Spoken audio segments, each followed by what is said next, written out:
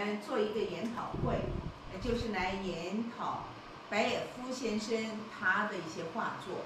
他的画作呢分成两类，一类是他比较传统的中国的国画，一些仕女图和一些中国国画；另一个非常独特的，我也曾经写过他评论的，就是关于灵性的体验和对人灵魂的一个表述。那白野夫老师呢，他呃用这个呃水墨呃这种传统的方式，并且加上了现代的元素，来表达现代人的灵魂。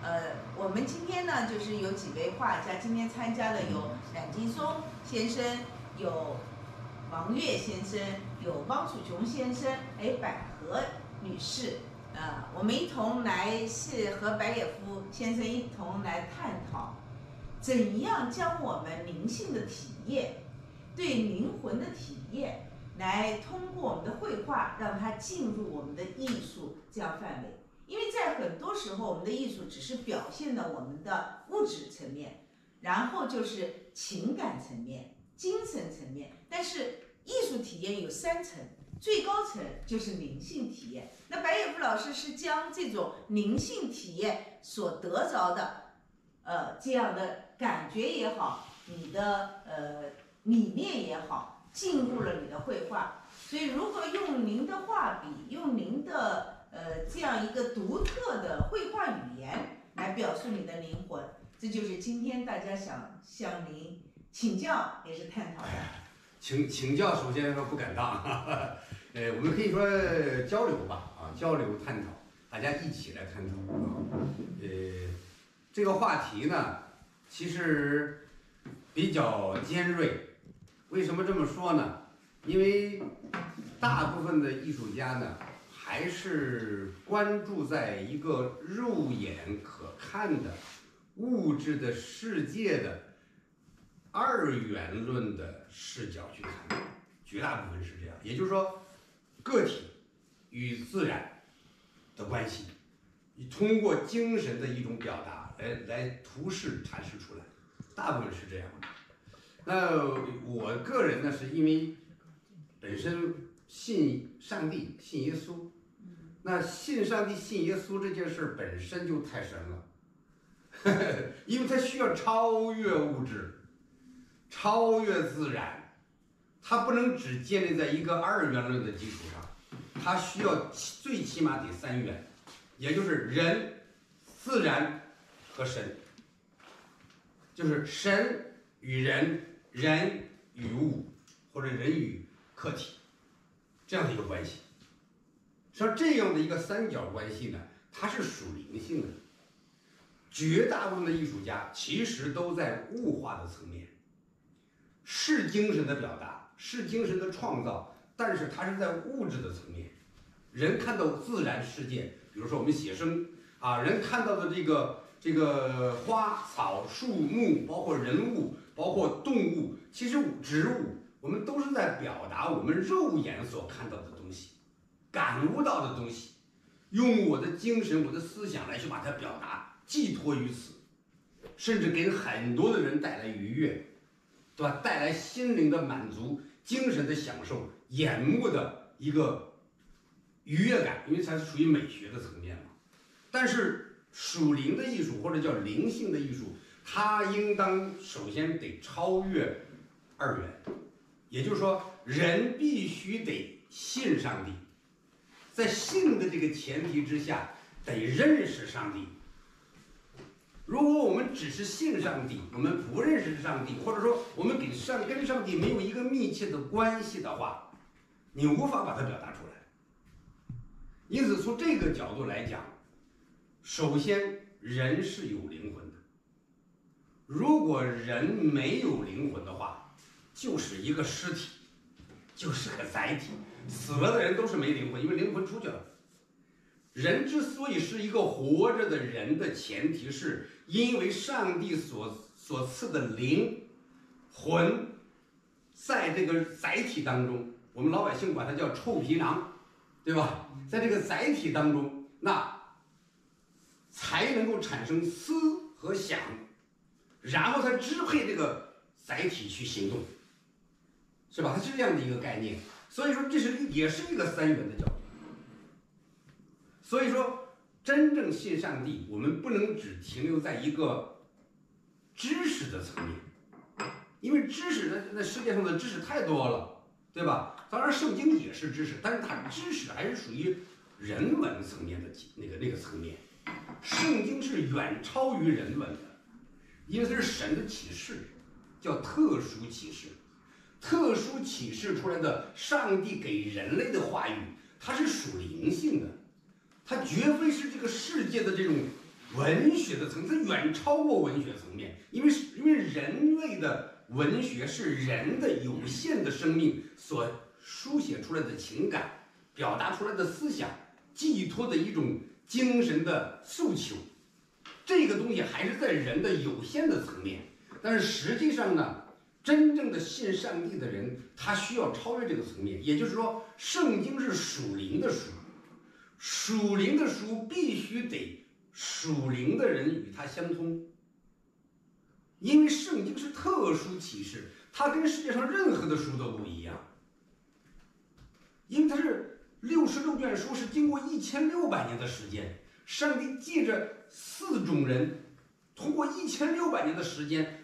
去启示他们，让他们在不同的年代里面记下上帝要启示给人的话语，并且把它合在一起，成为上帝的一个完整的、有头有尾、有过程、一个完整的一个一个一个体系。所以说，我们今天作为信靠者，尤其是我们艺术家，我们艺术家其实本身就是属灵的，艺术家没有灵感无法创作。那灵感从哪儿来都是个很很大的问题。不认识上帝的人也有灵感，认识上帝的人也有灵感，差距在哪里？这是个很大很重要的一个问题。为什么这么说？说它重要啊！不认识上帝的人，因为他跟上帝没关系，但是他有没有灵？他也有灵，人也有灵，但是他跟神没有相通。他通的是什么？他通的是灵界，那灵界的东西来启示他，来给他感觉，他也能够来灵感，但是他不是从神来的。那真正信上帝的人，他的灵感是需要通过默想神的话，灵修神的话，常常的思考神的话与现实的关系与人的关系，那话语本身就可以启示我们自己。其实。我个人的一个体体验哈，在创作的过程当中，其实就是灵修的过程，它本身就是一个灵修的过程，因为在创作的时候，就是用神的话语来创作，就是你默想神的话语的的时候，就用你的作品、你的笔、你的墨、你的纸、你的精神、你的心灵，它是一个多元化的一个瞬间的一个交合，包括跟神的关系。其实再往往往往往这个极致里边说哈，真正的属灵的艺术，它应当是长出来的。上次跟施伟老师我们交的时候，这个交流的时候，你采访的时候也谈过这个问题啊。它是长出来的，它是生出来的，它不是嫁接出来的，它也不是改装出来的，它也不是中东西方这个叫什么这个这个这个这个借鉴。融合只停留在文化层面的，首先得是对神的话语的了解和认知，得进去。我们信靠者、信上帝的人得进到神的话语里面去。当我们真正进到神的话语里面去的时候，那个话语本身就是有能力的，因为神的话是有能力的。神是用话话语创造了诸世界，当然他的话语有能力。因为神的话语一出来的时候，就像两人的利剑一样，刺入剖开，甚至骨头与骨节是灵与魂，他太厉害了。所以说，当我们默想神的话语的时候，其实我们的灵就就在与神相通。当我们与神相通的时候，我们再去画这个作品的时候，实际上是圣灵来带领，是圣灵带领的。我个人是这样的体会的。不是靠自己的经验，也不是靠自己的创意，也不是靠文化的积淀，也不是靠什么什么借鉴、交融、融合的这种，不是，它是长出来的。为什么？是就像一个植物一样啊，它种子进去了，有土壤，有湿度，它就会发芽，它就给会往上涨，下边就会生根。其实艺术，我我个人体会也是这样的，也真的是是是这样的感觉。所以说呢，在创作的过程当中，其实我本身每次创作的时候，基本上是一个灵修的一个状态。一边创作就一边默默的祷告，一边默默的祷告，一边呢就问神：啊，主啊，这么走可以吗？这么走是不是更好看呢？哎，这么着走是不是再加点水？你把它冲一下？哎，是不是我再加点别的其他的颜料？在这个过程中，实际上你是一直在跟神在沟通，就是与神相交嘛。当我们的心、我们的灵交在神里面，与他相交的时候，实际上是神的灵带着我们走，不是我们自己说我要创造一个什么东西，我要我要创一个什么。其实人本身，我们首先得承认我们的有限，我们太有限了。我们往往还那些有限的那个知识、那个堆积、那个经验。其实有时候哈，可能也会辖制我们，让我们难以突破。但是，但是呢，必须得有一个前设，就是说基础的东西、原则的东西、规律的东西，我们必须得学。学到学到一定程度以后，到一定程度到一个节骨眼或者到了一个一个一个叫什么这个节点的时候，需要把它清空。需要把原来的东西彻底清空，只有把原来的东西把它倒出去，清空了，通过实验，通过尝试，通过探索，通过研究，可能会这样，可能会那样，可能会那样，怎么样能够成立？但是这个前提是跟神相交，就是祷告神，默想神，神的话语在里面，默想他的话语，就是来如何哎。神呐，这样是不是更好呢？啊，主啊，你帮助我！哎呀，这个这个好像觉得不是太好。哎呦，是不是加加点东西会好一些呢？其实一边画的时候就可以一边的跟神去相交流。那个时候，实际上你当我们想倚靠神的时候，跟神说话的时候，神就跟我们说话，他就带着我们走。所以说我我个人的感受哈，就是在创作的过程当中，实际上我们说是自己创作的画。其实，如果事实上去讲的话，应该说神的参与，真的是神的参与，就是我们自己太有限了。实话实实说，真的太有限了。就是我个人也是觉得，若想突破，首先得跟神建立关系。神是跟神建立关系的前提是。真正谦卑俯伏下来读他的话语，从他的话语里边领受更深的属灵的含义和他一贯的原则。就是神的话语是有原则的，它的原则不是一个，它是多个角度的原则。这个有这个的原则，这个有这个的这个原则，这个原则，这个原则，这个原则，把这个原则把握住了，再去寻求神，在里面去，就像是种子撒在好土里面一样。它就会发芽生根，就会往外长。实际上，真正的艺术是长出来的。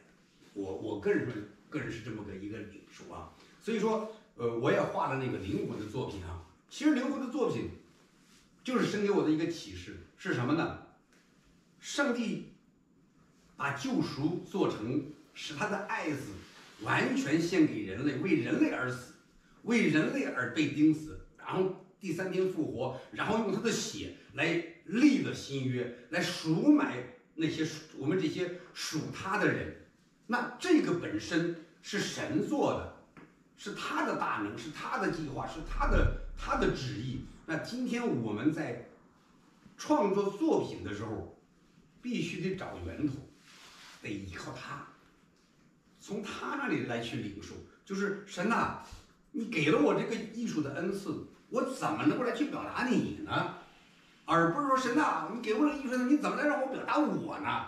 不是，表达我就错了。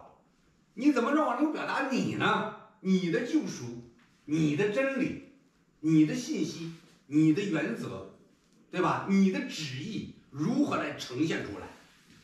当我们这样的一个去寻求的时候，实际上是把自己舍去的，就是把自己清空嘛。清空自己就是舍弃自己，舍弃自己的时候，就从神那里来支取信心、支取力量、支取他的圣灵的开启引导。在这个过程当中，实际上是一个享受的过程。嗯，真的是一个享受的过程。这个享受吧，就是尤其是一幅作品出来的时候，那个愉悦感呐，就是任何任何东西是是代替不了的。有时候吧，哎呀，这是出来的是这样啊。我相信施伟老师应该有过这样的感感受啊，因为你画的也是抽象的，就是也是用丙烯，就是真的是它有时候那个融合呀，因为水本身，水的这个这个本身是极特殊的，别疙瘩。真的是极其特殊的。水，我小的时候就听过一句话，水是生命之源，这是写在我们村里边那个墙上写的那个大标语。水是生命之源，这现在我都记得特清楚。那个时候我就想，水是生命之源，为什么水是生命之源呢？哦，人缺了水不能活，动物缺了水也不能活，植物缺了水也不能活，天上地下所有的我们这个看到的这些地球上这些没有水，所有的东西都不能活，只要是有活活的生命。那那问题是水从哪来呢？就后来呢，我就去是圣经里边我就去查考。我仔细的去查考那个《创世纪》开篇第一章，起初神创造天地，地是空虚混沌，渊面黑暗，神的灵运行在水面上。上帝没有说上帝我先创造了水，没有，是神的灵圣灵运行在水的面上。神说要有光，就有了光。于是看光是好的，这是头一日。你看水从哪里来？上帝而来。水本身是上帝给的，所以整个的世界宇宙唯有地球上有水。这太奇妙了！我们是个水球，是个碧蓝色的水球，大水球在空中飘着，有太阳照着它不近不远，有月亮。里头引吸引着它不近不远，有重心在在在在运转，其实拓着的中心是地球，这太奇妙太奇妙了。好，白野夫弟兄说的好，现在我们就是研讨会嘛，进入一个互动环节。嗯嗯。呃，我们就一些个具体的这个问题呢，我们和白野夫兄弟哎，您说您说探讨一下。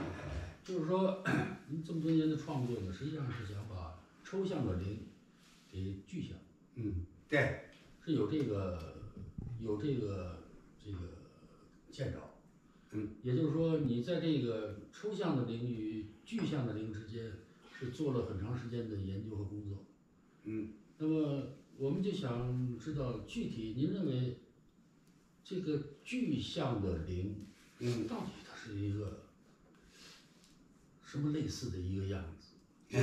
能不能让我们都弟兄们都看看到，都都都都都都看见？其实说到了灵本身呢，灵是非物质的，它是非物质的。我们肉眼呀，科学家那个十一宫曾经讲过啊，人的肉体的眼睛只能看到事物的物质的零不是物质的百分之四，百分之九十六我们肉眼是看不见的。百分之九十六都看不见，而灵呢，它是超越的，它是它是应该它是在四维以外，五维五维层面了，因为神就是个灵，圣经上说神就是个灵，所以拜他的当用心灵和诚实拜他，是得需要人的心灵和诚实拜他，就与他相通了，就与他相通了。但是我们的肉眼说我要看见那个灵，没法看见。没法看见，因为我们在三维空间，加上我时间是在时间轴是在四维，零是超越这一切的。那您想在这个绘画里边儿，就是把这个灵给定位成一种，呃，可以被观众感知的，哎，这是你的这个用意。哎哎，对，包括也是也是这么多年在神的这个启示之下，嗯呃。所做的一些努力，嗯嗯嗯。那么您认为您的这个作品能不能真的让观众感觉到，那就是灵？你觉得有有没有这个？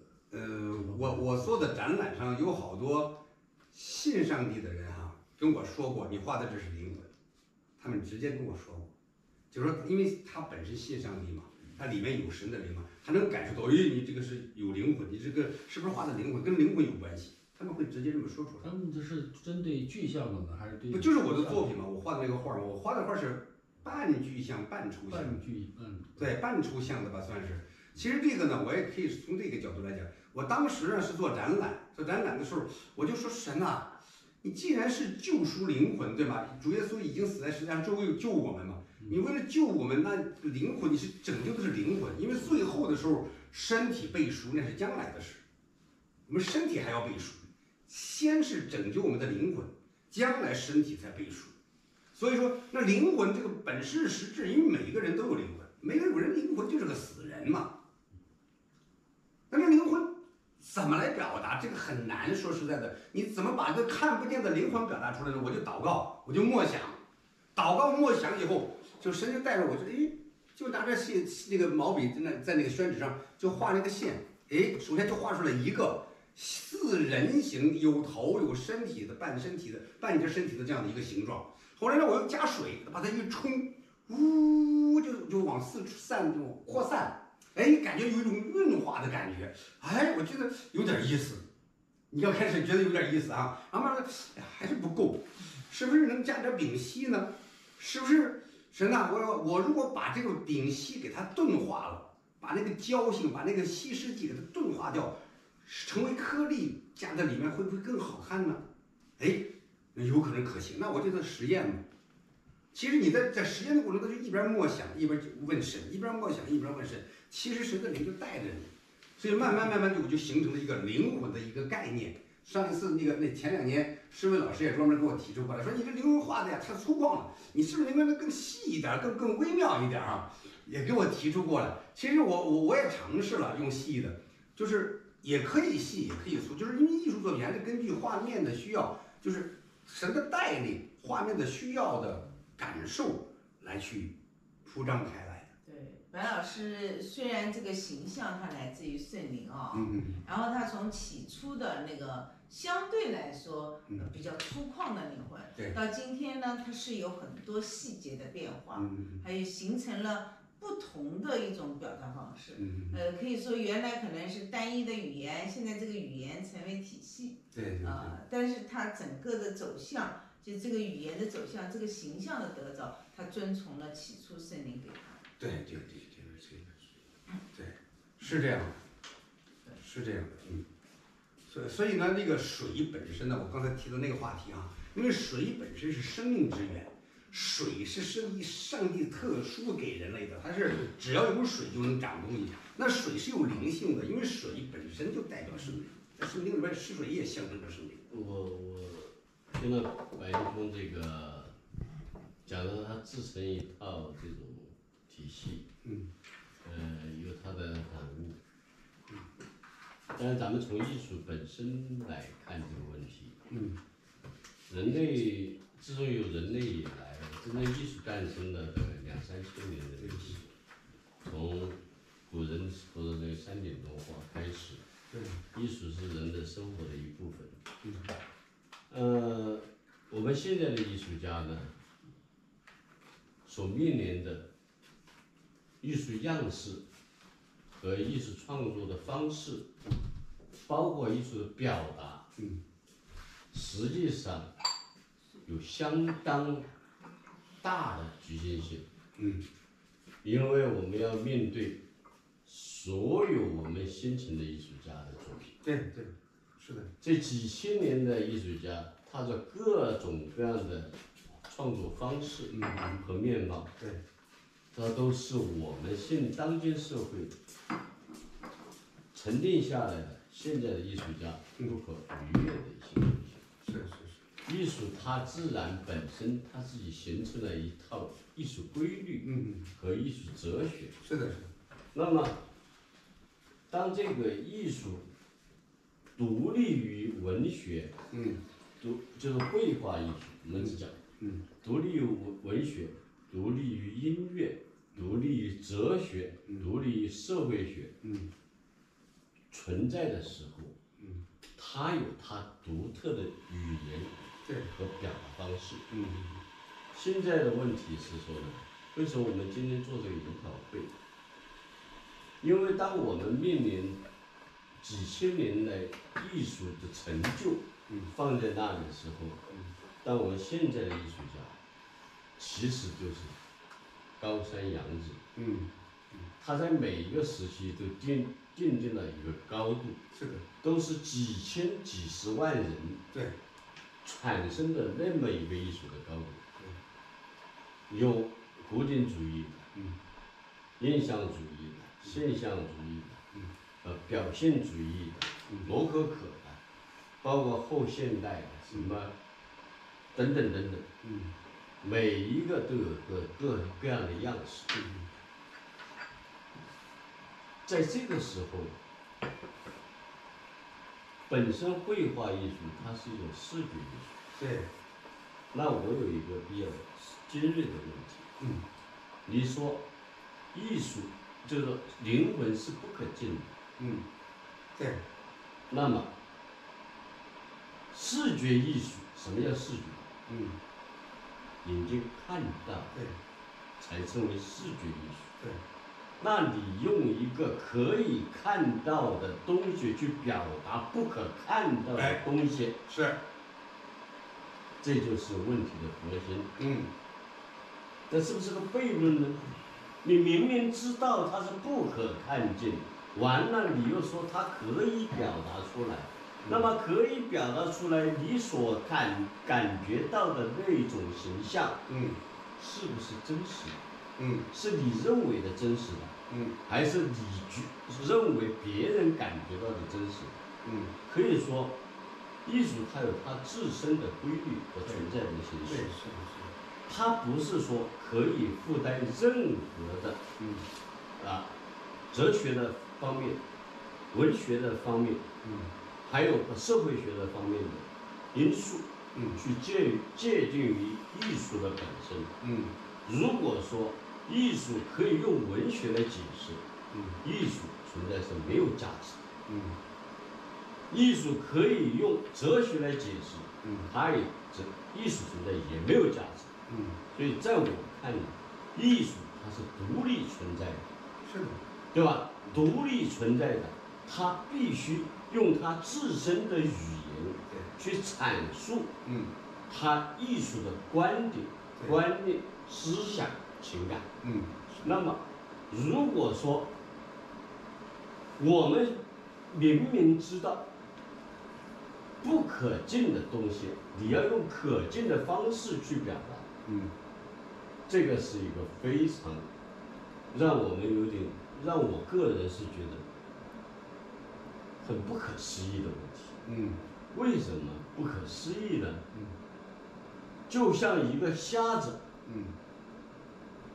他非要去描述世界繁花似锦、春春光灿烂、嗯。阳光明媚，他都没见过光，嗯。他也没有见过色彩，嗯。他甚至你告诉他红色是什么，绿的是什么，他都不知道。嗯。最后，你让这个瞎子去表达这个东西的时候，有多少的可信性？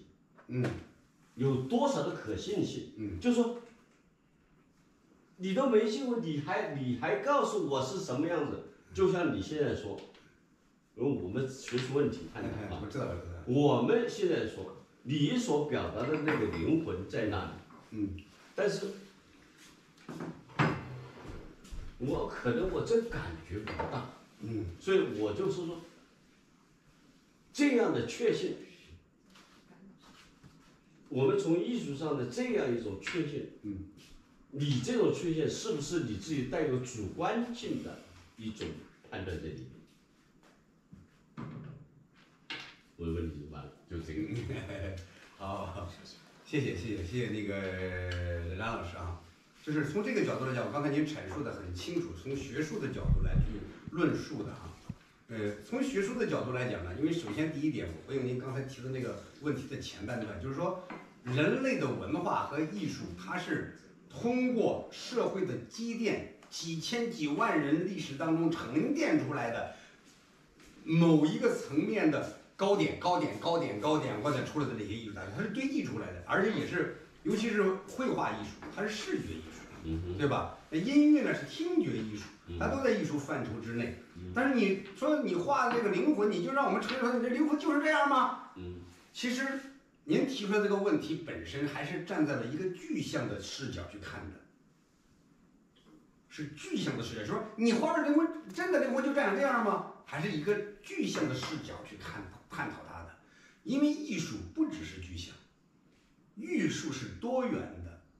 多元的艺术是不同的视角看不同的问题，所以说呢，它有抽象，啊，它有冷抽象，它还有热抽象，对吧？它有多种多样多种视角。因此，我就想回答一个什么问题呢？就刚才您提到那个，那如果是这样的话，那岂不是就像瞎子摸黑去画出来的东西，你就说画着这就是红的，那那这不是骗人吗？其实我拿一个例子就能够说明，因为音乐也是纯粹的艺术，诗歌和音乐应该说。比绘画更纯粹，最单纯了。诗歌和音乐，比如说这个那个聋子的音乐家叫什么来着？贝多芬。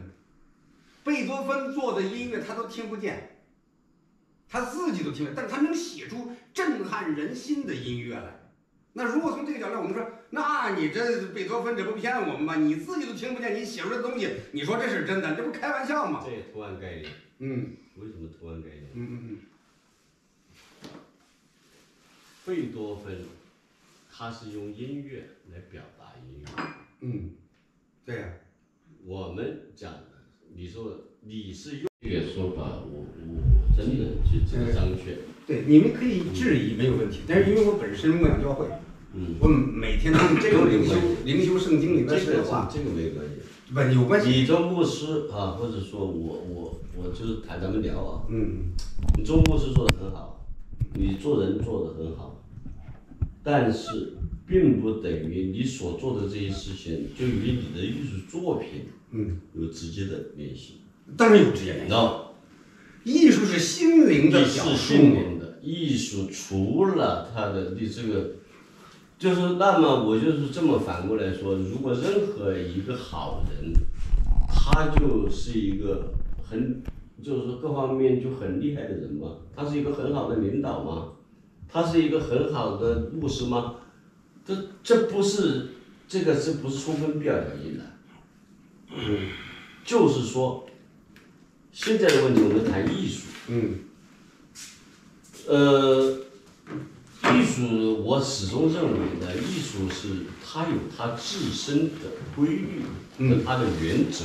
嗯我们讲讲音乐，对吧？嗯你音乐，你不论是古典音乐还是现代音乐，嗯它会给别人呈现画面感，嗯，会给是的，每个画面感可能不一样，嗯对吧？嗯但是情绪嗯，是一样的。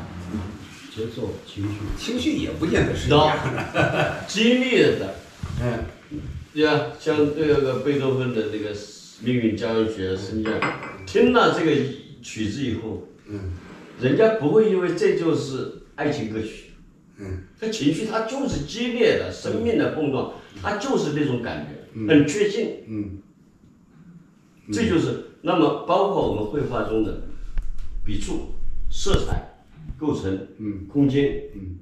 这些等等的运用，是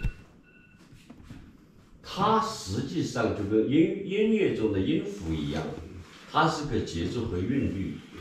如果说这些东西出来以后，画面给你的一种感受 是安静的，嗯。是祥和的，嗯。是激烈的，嗯。是凌乱的，嗯它是由我们眼睛看的，是有一个确信的感知的。嗯嗯你看着一棵风吹弯的大树，狂风作起，人在那儿艰难行走，假如说，一个画面，你绝对不可能说这张画面起名为闲田益志。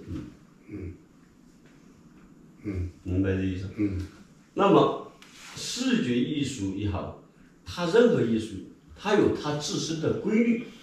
如果我们不在这个规律，神也是讲道讲规律。你不在这个规律中去做某件事情，我们非要附加一个东西给他，嗯，就说这个东西就是因为我属灵的，我想这么做，我做出来的东西不管是什么样的，我就认为它是什么样的，嗯，这个是不是你的作品真正的展现出来了你的愿望？我我想讲一下，因为一会儿我有个会啊，讲五分钟。因为对白老师我也认识很久了。如果我从文学的角度上来说，怎么定义他的呢？我不认为他画的这个就是灵魂的样子。嗯首先我必须说，嗯我不认为灵魂是这个样子。对灵魂本身就是无形的，你不可能就这个样子对。但白老师呢，他用了一种象征手法，或者是你说寓言手法。嗯比如说他寓言，呃，就像我们很多寓言，以一棵树来，呃，不，比如说中国人很习惯用竹子来预言气节，嗯气节是不能画的，对对吧？对但他用竹子来预言，所以竹子的那个形象，人家看见就是气节感觉。嗯那么梅花又是一个感觉，或者说甚至某一种颜色都是有一种嗯就是被预言了。那我认为呢，白老师是用了这个符号来喻他来隐喻啊是灵魂。那么这个是他独特的所以符号。这就是我们讲规律是啊，符号，也许呢，就是说，在我可能画灵魂就不是这个样子，对，另外一个样子。但白老师这个符号呢，它随着不断的摸索，不断的摸索，它这个符号形成一个完整的符号体系。那人家看见哦，知道这是白老师的符号。那然后呢，在这个符号的情况下，根据这个符号的变化、颜色、画面的改变，来体会它里面灵魂的涌动。嗯，我觉得这只是一个符号，不是灵魂的样子，就是 exactly 的样子。那呃，像冉老师呢，他其实讲到就是形象，嗯，就是我们共通的，第一是我们共通的感觉是借着我们眼见的我们的行为啊、呃风景啊等等来表现的形象。那这个呢是另外一个层面，但他有一点我觉得是共同的，比如冉老师，你要表现悲伤，你可能今天是用呃一个一个女人坐在那里啊，独特的呃样子表现悲伤，你也有可能明天是借着一道河流、一个天空表现悲伤，但是这是你的符号，就是大自然是你的符号。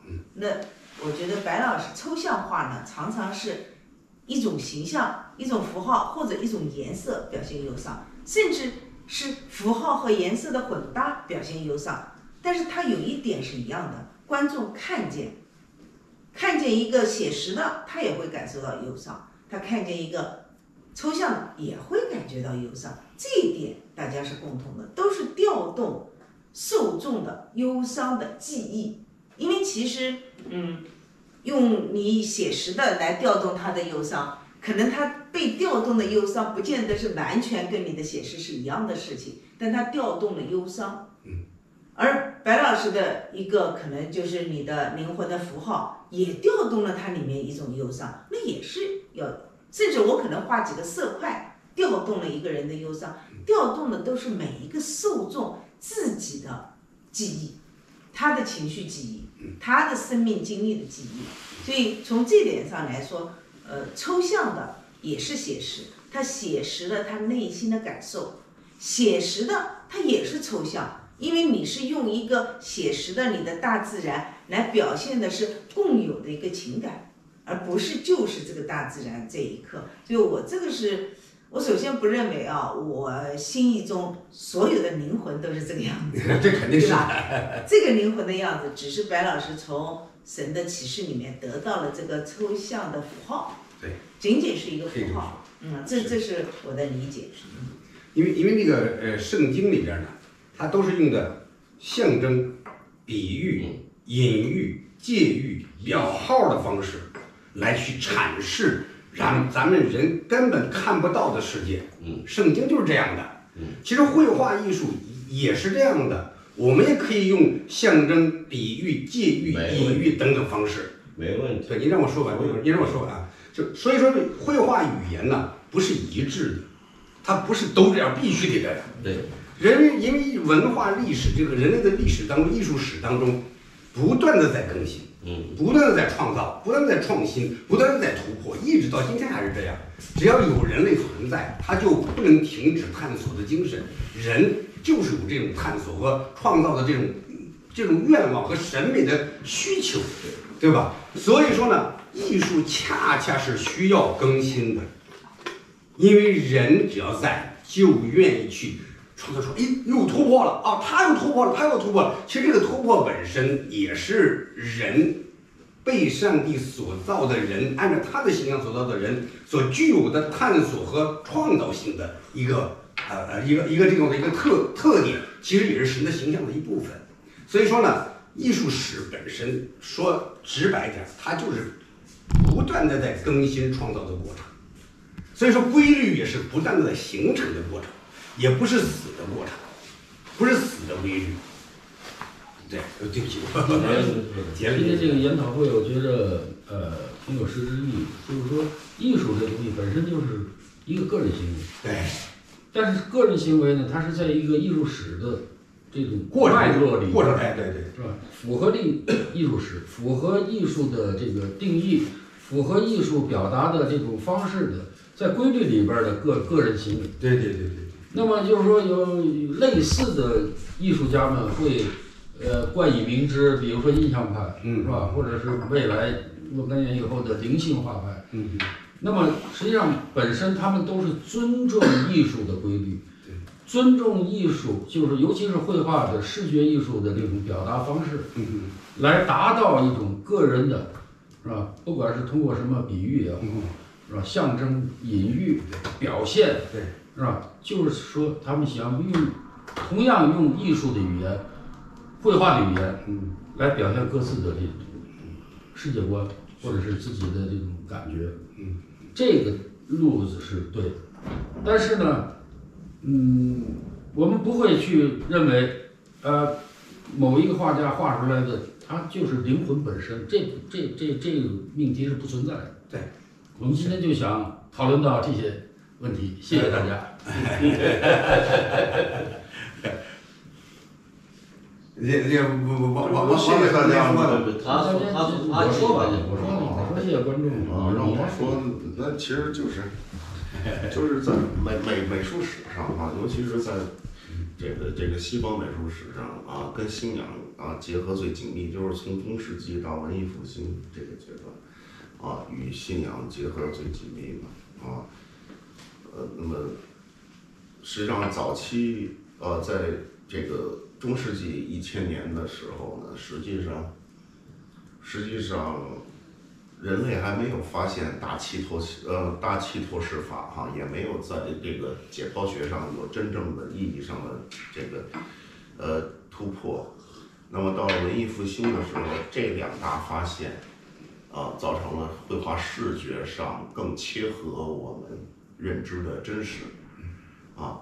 但是其实，在中世纪绘画里面，其实不乏有那种感人的作品，也就是。就是，其实我倒觉得这个表达灵魂抽象与具象并不重要，对对对，是吧？你比如说丢勒的那个祷告之手，哎哎哎，对，是吧？那就是象征性。呃，你比如说米开朗基罗雕的这个大卫，啊，那是他二十一岁雕出来的，那你就去想，这个人就不是人啊，就像好像是被圣灵充满的一个比萨利，是吧？他好像知道怎么从这么大一块儿，呃，高七米多这么一大一块儿的这个汉这个这个这个大理石里面，怎么就雕出这么一个生命来啊？然后比如说你看我帝国的这个天顶壁画儿是吧？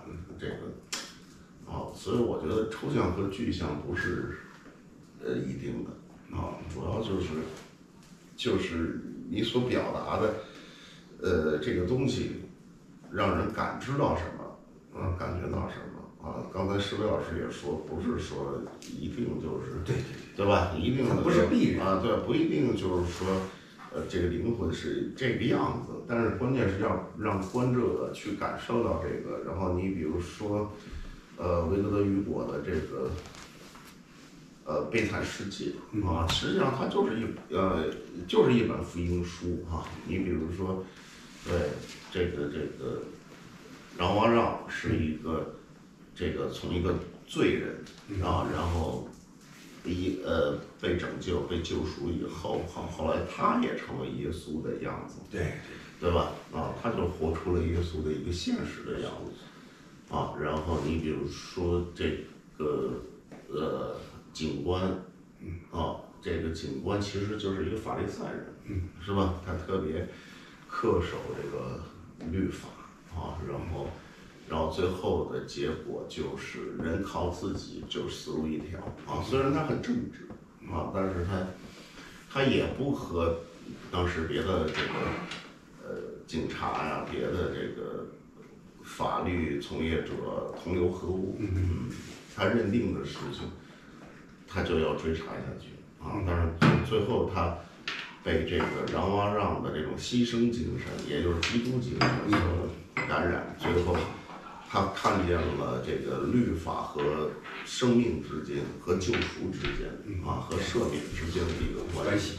啊！但是他自己又不可以妥协，所以他就只能够这个，这个这个只能够呃死路一条啊！所以。所以，对我觉得伟大的这个艺术作品是一定要摸到这个灵魂的东西的。嗯，就所有的，你比如说，刚才这个冉兄也简单的提了一句哈，这刚才我提的这些，我认为哈，我认为都是，呃，包括查考他们的生平，他们都是非常虔诚的基督徒啊。你包括伦勃朗，伦勃朗晚年的那个晚年的自画像啊。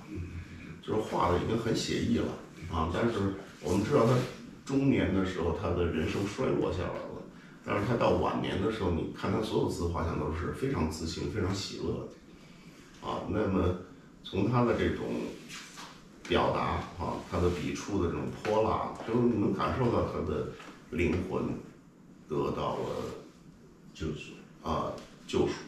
嗯，所以，所以，所以。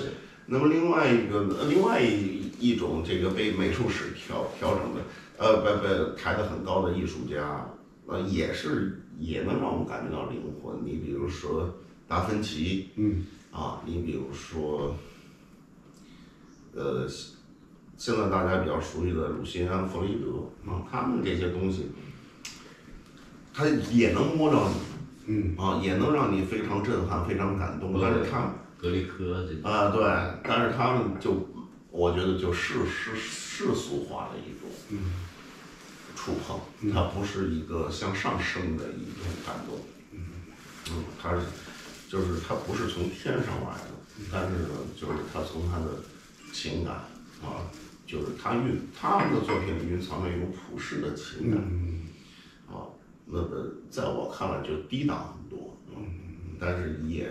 不失为了不起的作品，嗯，也是一般人所难为的，嗯，但是明显他们在灵魂层次上完全不一样，他们的力量来源也不一样，嗯，所以我我我是这么觉得吧，所以我觉得这个抽象具象不是问题的根本啊，抽象，呃，就像石磊老师说的这个，呃，你可以说所有的绘画都是抽象，嗯，对吧？啊。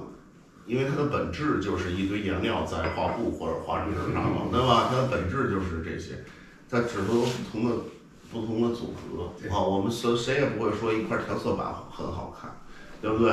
因为它没有人的主观的参与，是吧？那么我们也呃读圣经的话，大家可以发现，在神创造人以后，所有的神迹都是有人的参与，啊，没有人参与的时候，神就不做什么，啊。所以呢，这个是神的一个定规啊。那么，那么我想这个，呃，所以艺术呢，你也可以说说，可以可以说所有的艺术都是具象，是吧？因为你的情感是非常具体的，你的激发你情感的这个来源也是非常具体的物象。所以，呃，所以我觉得呢，这个还可以探讨啊，灵魂这个母题肯定是呃正切要点啊，但是就是需要不断的探索。对，好吧，那我的那个感觉。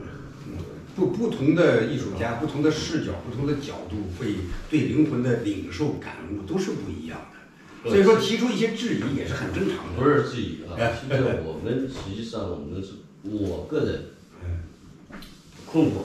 嗯那说实话，任何一个艺术家创作任何作品，他都希望有这种一看就灵魂出窍的，都希望看画出这样的东西来。嗯那就这东西一旦出来，它就是清清古不败的东西。嗯但是我们是反过头来说，你哪怕有感动或哪怕有什么，都不敢认定这个道理哈，嗯是不是这灵魂？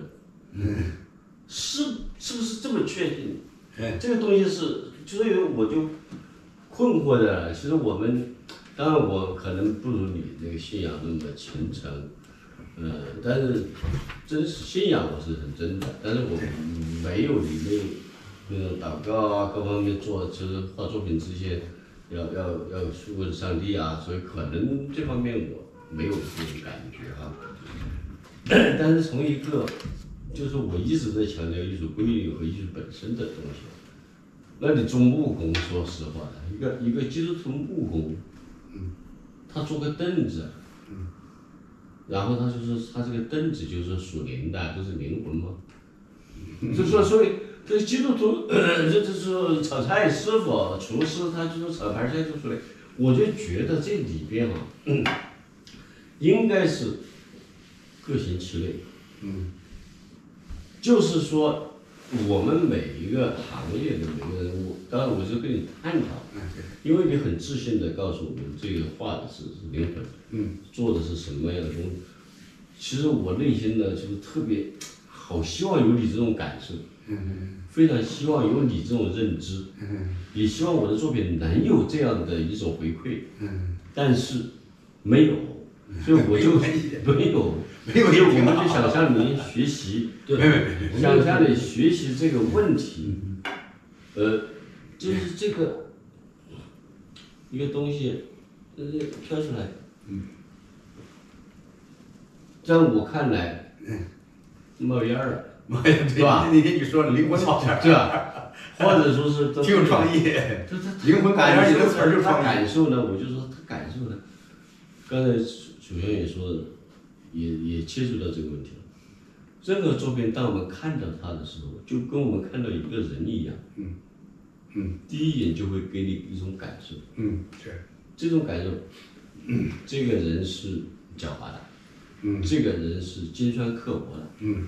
这个人是他不好惹的，对吧？对。你肯定，但是这种感受，我相信人人是共知的。对对，都会有都会有都有的，而且是肯定差不多的。嗯就是神给我们每个人心里面播下的那个种子，对用判断，他是知道的。嗯但是就是艺术作品，它这一块儿呢，你说这是灵魂，他说那是那是什么？他说那是什么？就晕了，晕了，就晕了。你要不管他们看米勒的画也好，看什么画，我到卢浮宫去的时候，就看到人家那些人在米勒画个人掉眼泪，就就祷告，嗯嗯嗯，他真感动。对，那甚至我做个展的时候，我看我画的一个农民工哈，他说什么呀？人家也也留言很感动。嗯看着那种一个生命的那种状态，他也感动也哭，嗯，对吧？他这种感动，他是触及人人人内心的。嗯那么艺术作品的作用是什么呢？我们反过来来说，嗯，就是触动人内心的。对它怎么触动，怎么触动这个人内心？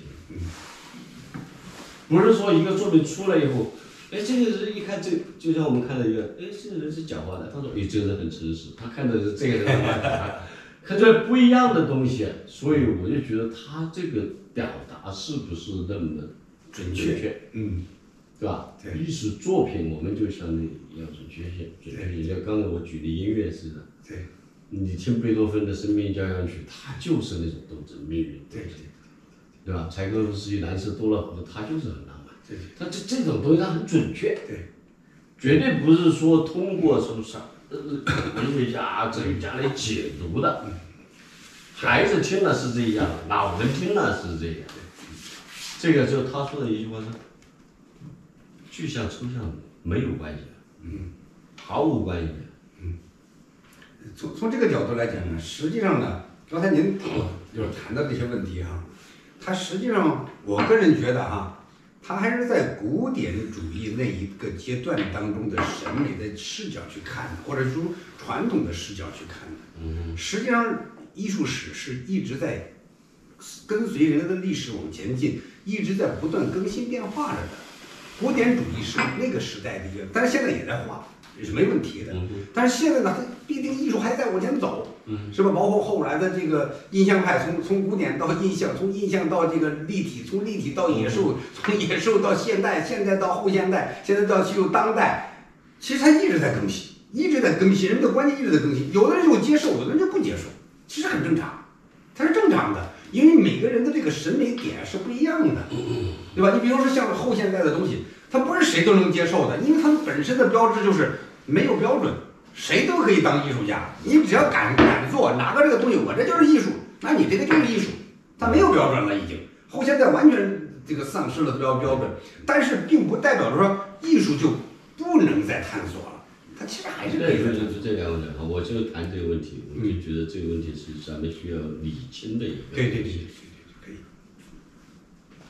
后现代艺术也好，诞生是什么？基于什么样的一个哲学革命嗯开始的？嗯嗯，其实都是从贝利神开始的，呃这肯定是，是由肯定是，那个尼采宣布了上帝死亡对。那个书对。以后，是才产生了后现代艺术。是的是的，那么这后现代艺术是这么一种，人人都是艺术家，包括杜尚的小冰盆对搬上来，对对，它其实就是没有规律，打破规律，打破神权，打破一切。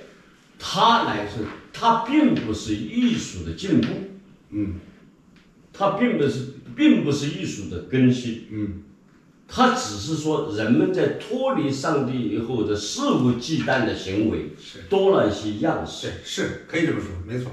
对吧？没错，我们并不能说把这样的方式，特别是我们基督徒对，如果说把这样的方式作为是艺术进步的一种标准规范的行为的话，我觉得这个就就是有问题。没错。所以不管你不管你社会进步到什么程度，嗯。神说了，阳光之下无心事，是你的所有的心思意念全清楚。对。所以说，人们现在搞各种各样的那种样式的东西，我看过世界上所有的博物馆，应该是这么说，可以到各种博物馆去，你就看人们，你走博物馆的踏脚步，就能看出来，都能，凡是所谓的当代后现代那些人的鸟一眼，嘟嘟嘟嘟，都过去了。跟赶火车似的。对但是我并不是说用这个来评判东西，对。但是现在的人呐、由于人离开上帝以后，人人都想成为上帝，是这是一个最重要的。是没错，尼采宣布神的死亡，嗯所以说人自己都变成了自己的神，对没错，这就是当代艺术的核心。对后现代也是一样，对，嗯。核心。是。那就老子就是这样，我撒泡尿就是艺术，那就成这样的。他就是以自我为中心的对。标榜，那么说，当这样的东西产生出来，而且趋之若鹜，各个包括索美国的索罗斯他妈的特坏的，就想他妈的把钱的大量的砸到左派身上，砸大量的去搞什么社会变革，这一系列人都是在违背神。嗯，就有的人他就是在违背所有的教诲。是我们讲灵性艺术，今天我们谈这个核心的问题。我们作为有信仰的艺术，是我们是不是应该清晰的感干看到这个历史时期、现在后现代艺术、当代艺术这样一些的变革，对，是给神带来的是什么样的？是伤害还是在建造？对。那么，OK，那么现在我们现在要来做这件事情，做灵性艺术的时候，其实就应该给一个人清晰的认知，而不是说可以这，可以那，可以这，可以。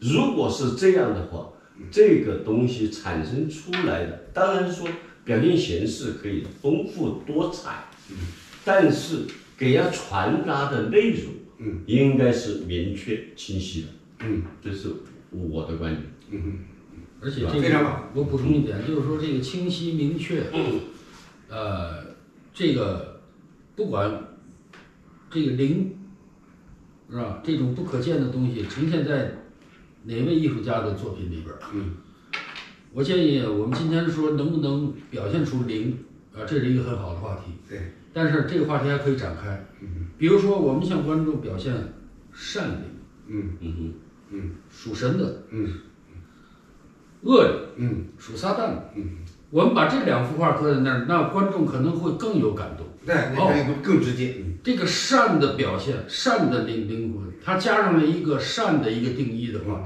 它呈现出来什么样？嗯那么它是恶的东西，嗯，是吧？嗯，撒旦的部分，嗯，它可能表现出来的各种形式，会让人觉得哦，嗯，这个是基督徒艺术家所让我们看见的。这样的话，这个灵就具体了。嗯，就是灵的形象不具体，但是灵的定义具体。嗯，善的、恶的，是吧？温和的、诡诈的，对，这是耶稣基督在圣经上都说的九个果果实嘛，对的，圣灵所结的九个果实。都表现出来。我们九看你就这是咱们的作品，就是说你不能违背这九个果实。嗯当你违背这九个果实，你就实际上是不属灵的。对，这是圣经上已经明示给我们的，圣灵所结的果子是什么？良善、谦卑等等等等等等这些啊，九个果实，它明确的告诉我们了。嗯那么，如果说我们的作品是在这个范围内的，我觉得它属灵，是嗯这是从按圣经原则来说。对。但是怎么表达的更有艺术魅力，更有艺术观赏性，嗯，更有手法上的那种高级，嗯。嗯对吧？儿童也能画，嗯，对吧？嗯，爸爸妈妈牵着手就恩恩爱爱了，嗯，那你会觉得那这儿童画，那同样的，人家可能就是一副肖像，一个眼神儿，他就能够非常的打动别人，嗯，他就是他本身作品，他还有一种一种力度在里面，所以。你都就是今天我们谈的比较深了啊，就是说，我们其实的我一直就是很困惑，这两天呢就是，白兄那天我一耳朵听到灵魂的时候，灵魂的时候，我当时震惊，我很震惊，这你说也困惑。嗯，很震惊，我就觉得。你能这么说吗？不是，我我真想搞明白，因为因为你比我先好，嗯你可能接触上帝比我近。我们今天聊呢，就是特别想知道用什么什么方式让你就确信这样是个东西，是的。呃，我们是从知识或者从艺术史的角度来来看问题。今天你要是能给我们一点启发，那我们就觉得收获特别特别大。我们的创作作品上启，启发不敢当，就是咱们就交交流，就是交流，就像就着您刚才提到的艺术史这个角度，嗯从我个人的角度，我我也写过一篇文章，回头我发在群里头看一下啊。我那个文章就是就是怎么说呢，就大概的意思。其实中世纪时期的那个古典艺术，它本身就是以神本主义思想来去创作的。嗯但是到了印象派的时候，由于人的自我表述想移到大自然去，离开神，转移神，不但转移到大自然，转移到人性的人的本身，所以就从神本主义转到了人文主义。人文主义下所导致的就是刚才他们说的那一堆的，直到后现代和现在的当代艺术，就形成了那一堆东西。其实那一堆东西都是堕落的艺术，全部都是堕落的艺术，因为它本身就回到了人本身，人本身就是堕落的，在表现人的堕落，它就是产生了这么样一个堕落之下的艺术史。那么到现在，我们今天被神更新改变，今天呼召了我们，我们有责任有义务去回归给神。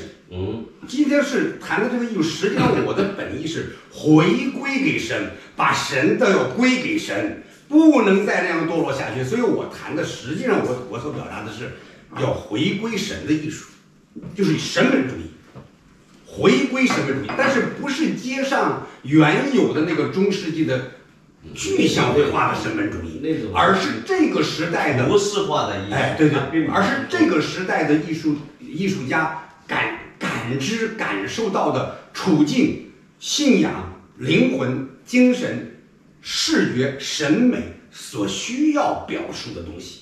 但是能不能表达到什么程度，那因人而异，也因每个人跟神的关系的启示，神的启示也有关系。所以说呢，我的本质想表达这样的一个问题。可能我就是我，因为毕竟在路上嘛，我也是在路上啊，在路上，只要在路上的，都不能说他就是成熟，也不能说他成功，只是在摸索、探索、研究、追寻的一个过程，还在过程里面，但是是要需要依靠神的，因为我们神是中心，神是一切万有的核心。那今天我们作为神的儿女、神的艺术家、属神的艺术家，首先我们要想画出属神的艺术作品，前提是我们必须得成为属神的属灵的人。如果我们不去更新我们属成为属灵的人的话，要想画出属灵的作品是不可能的，因为这个作品是从人的手出来的。是人的心灵、人的精神、人的思想、人的感知、人的视觉审美产生出来的东西，前提必须得是先去真正的被神的话语更新、改变、进入，包括我们的言语、行为、做事方法、一一举一动，包括我们的话语，都需要更新。当我们被更新了，我们的作品也就会会更新。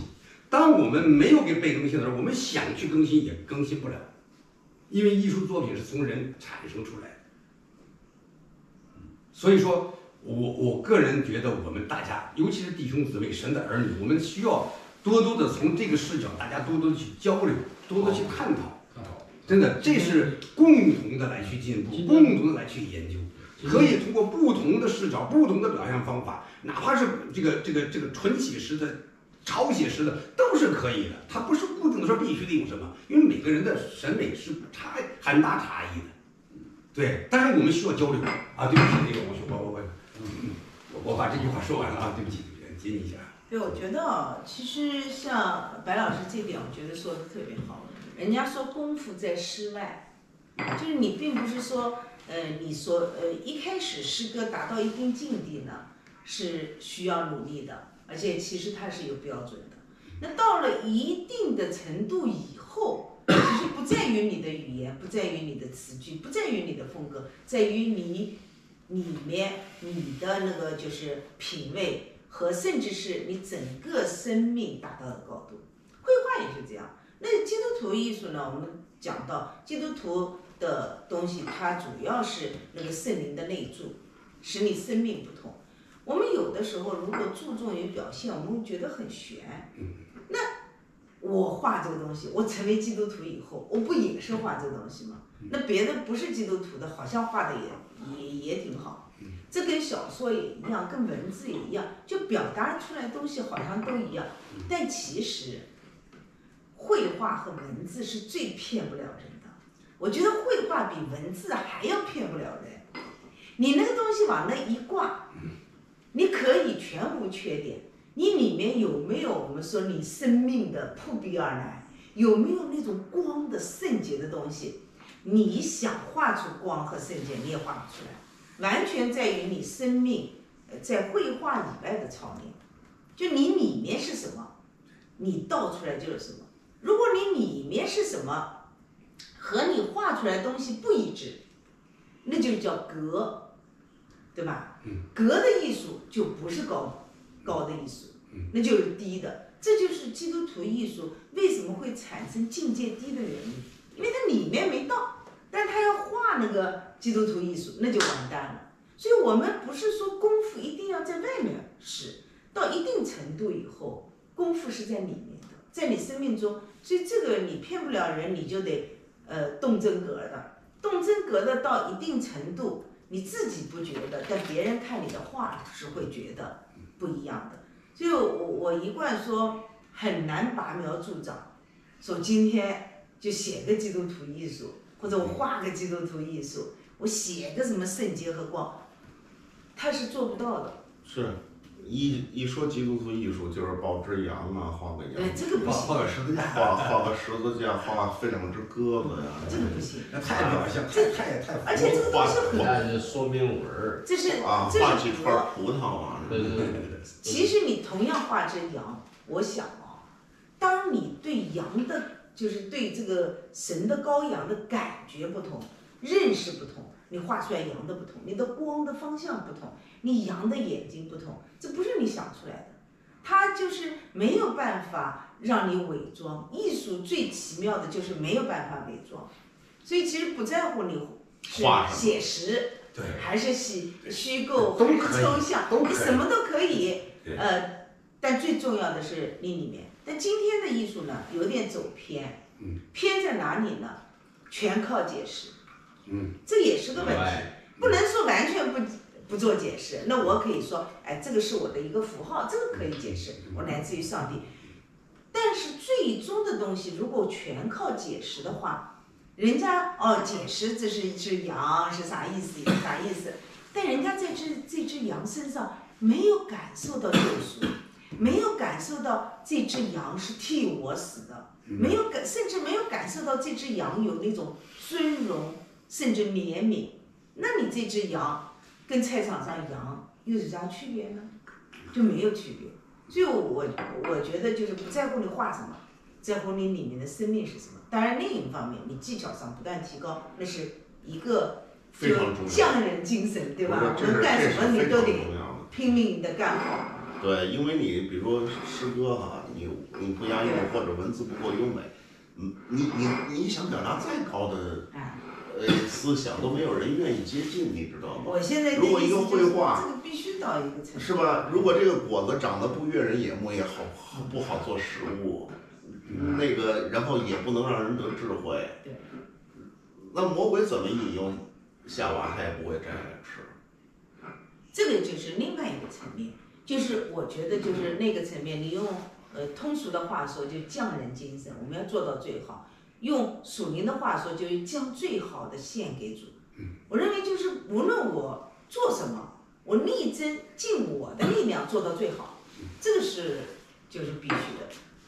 就像刚才提到的那个冉阿让那个事情，嗯。那个电影其实那里边没有说基督，嗯，他一句也没有说基督对，但是他的生命彰显出来的就是基督，对，那是高的，因为是艺术作品应该是呈现出来的是生命的彰显，这个生命的源头是从基督来的。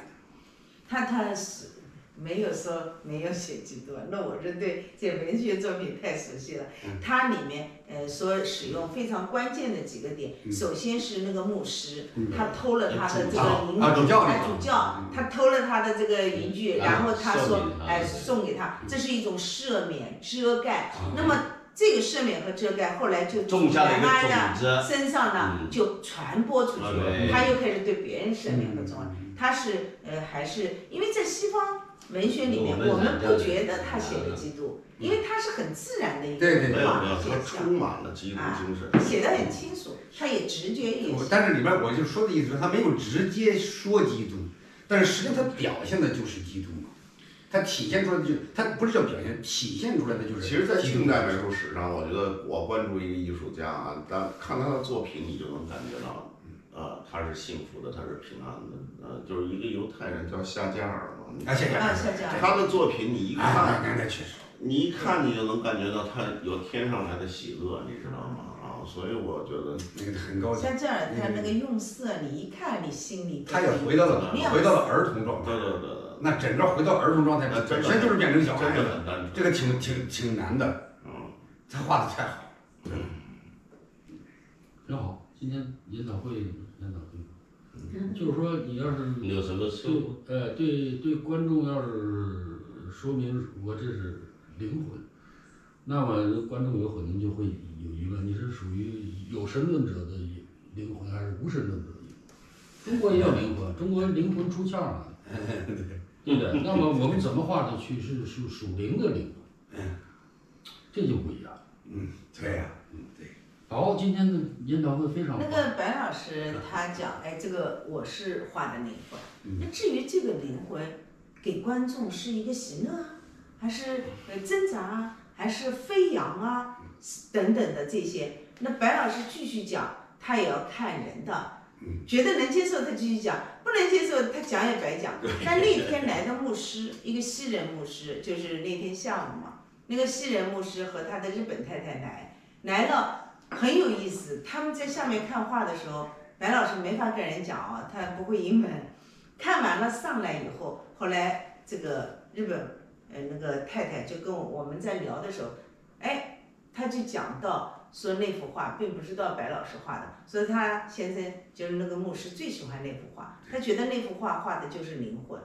白老师，我一翻译话，白老师就兴奋坏了，他就感觉到灵魂。那那那里那里是这就是成功牧师和师母，这就因为牧师他自己里面有灵，我想是灵与灵的共鸣，任何绘画都需要共鸣，就没有一个人的画可以让所有人都共鸣。那也对，是的。非常好了，咱们灵修为今天很好，嗯，哎呦，感谢主，让你感谢主。就是说这解惑嘛，就是咱们答答疑解惑，解惑。就就交流，但就是我觉得交艺术的就是在于研讨交流。我觉得这种研讨交流就特别好，就是因为我们在一起啊，有特别画具象的，有画抽象的，有画水墨的，有画工笔的，什么都有。哎，把自己的想法说出来，把自己的问题也直接。